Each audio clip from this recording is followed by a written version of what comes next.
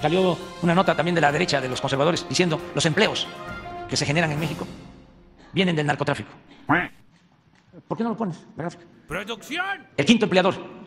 Y llama mucho la atención que el primero o el segundo empleador es Oxxo. FEMSA, 321 mil empleos. Nada más, Motangel, 50 mil. Walmart. Y los carteles, 175 mil. Eso es falso, y lo puedo probar. ¿Quién está eh, ofreciendo más empleo? Es la industria de la construcción y tiene que ver con la inversión pública.